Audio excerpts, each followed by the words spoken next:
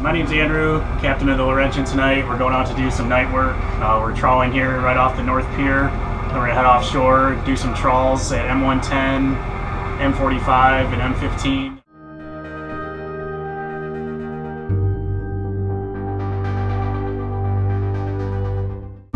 Hi, I'm Jeff Elliott from the Lake Michigan Field Station. Tonight we're going to be going out doing a little bottom trawling.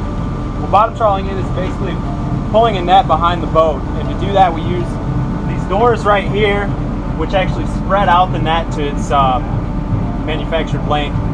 And we'll drag it behind the boat for a while and eventually all of our fish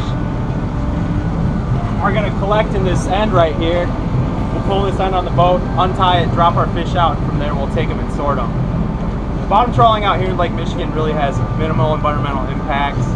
Um, it's mostly sand where we're going to be going a little mud, so you're really not going to ruin any structure or habitat. You're just going to be pulling around. You might stir up some invertebrates or something like that. And tonight we're hoping to catch um, alewives. That's kind of the most important thing we really need to get. We'll catch deep water sculpin, slimy sculpin, hopefully some bloaters, um, and maybe if we're lucky we'll get some whitefish and some turbot.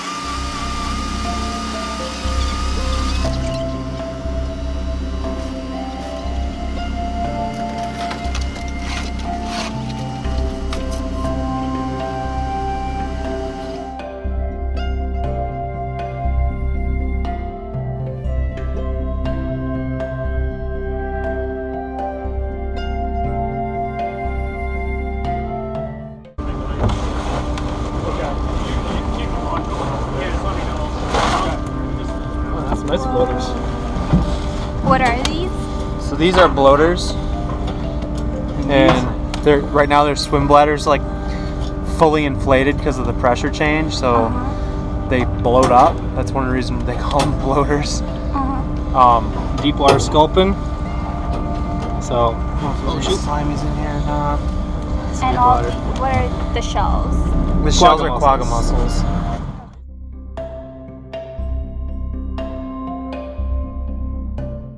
Gonna put them in here and freeze them,